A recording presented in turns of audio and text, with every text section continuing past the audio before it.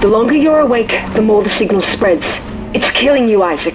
Tiedemann tried to keep it in check with memory suppressants. You said you could fix it, right? Only if you reach me in time. Tram station, get moving.